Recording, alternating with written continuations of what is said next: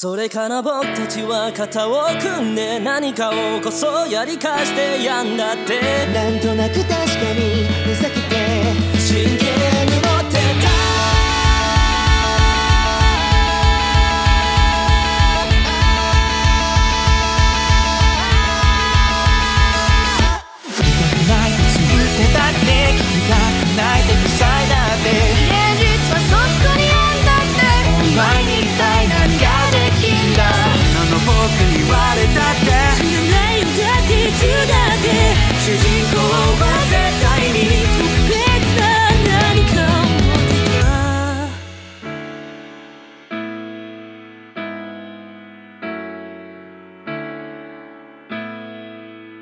それから僕たちは別々の道未来は平凡平気で平行線足並み揃えてさ大人の階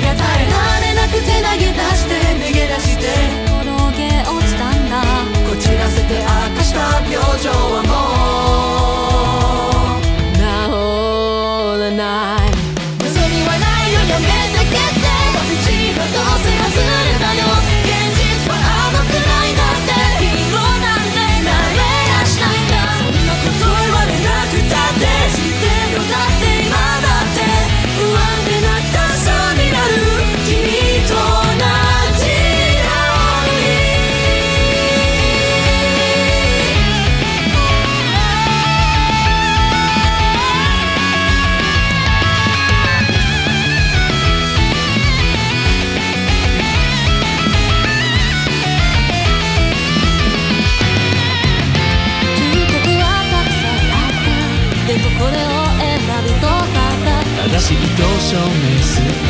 この物語の主人公だって信じ続ければ真実に実現するんだ現実にもう戻れないんだからあれから僕だけは置いてけぼり何かをこそやり返してやるなんて大層なそうで愛想もつかさ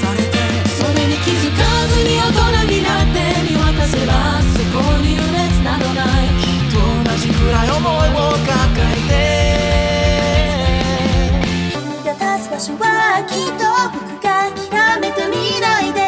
選んだものが違うから分かり合えないこともある。